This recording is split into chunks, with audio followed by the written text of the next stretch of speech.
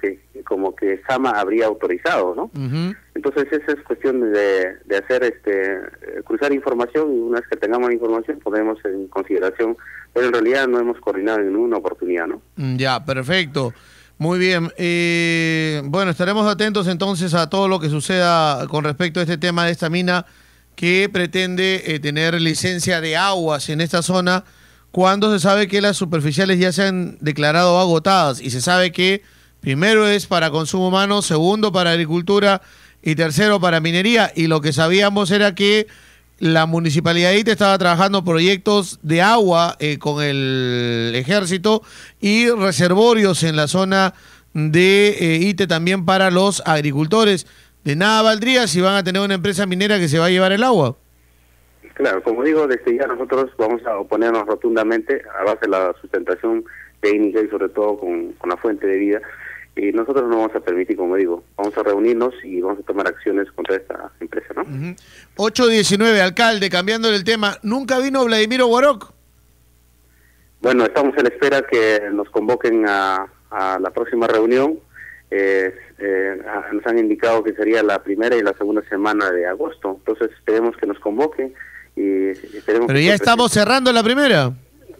Claro, eh, esperemos que la próxima semana nos convoquen a esta reunión, ¿no?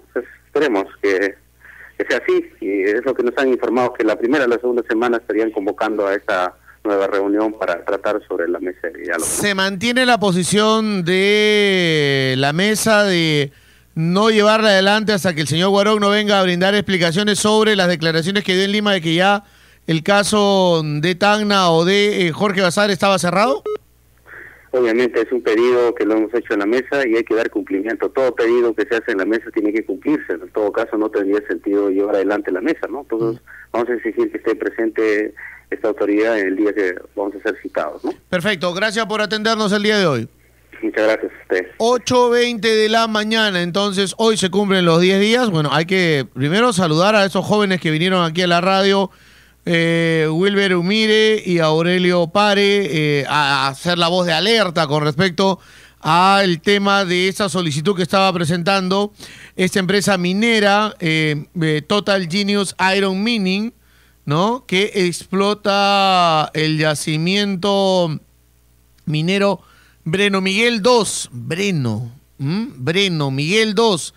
en realidad es un cerro que hay allá, según la información que nosotros manejamos, en la zona de Sama, más que en Ite, y el cerro se lo están cargando con cargador eh, frontal, lo suben a camiones y ese, eso lo llevan a Ite, a, perdón, a Hilo, en Hilo lo embarcan, ¿no? Lo suben a un barco y se lo llevan a eh, China, y en China procesan esa tierra y sacan hierro, según la información. Ahora, ¿cuánto hierro?